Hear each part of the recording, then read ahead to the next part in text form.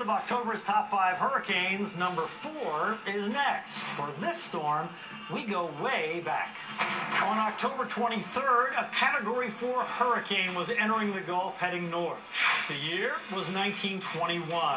Luckily, the storm weakened a bit as it turned toward Florida, just north of Tampa.